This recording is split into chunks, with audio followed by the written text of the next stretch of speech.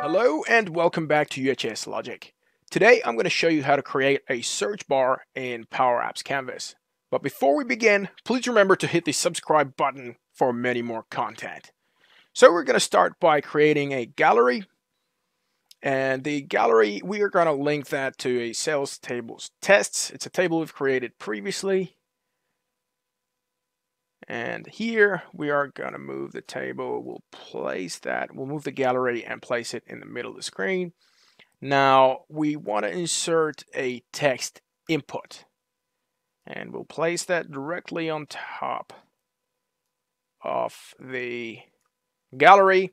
Now I'm going to rename this search box. Uh, we'll call it search box 5 and remember guys, this is case sensitive. So when you're typing this in the formula, it'll have to have the upper and lower case exactly the way it is here. So now we're going to go to the items section of the gallery. And instead of sales tables test, we're going to type in search and open bracket. And then it'll be sales tables test, comma, search box. We're going to remember that's case sensitive search box 5 dot text comma and then we want to put the name uh, which is what we're going to be searching in this case. And then we will close the bracket.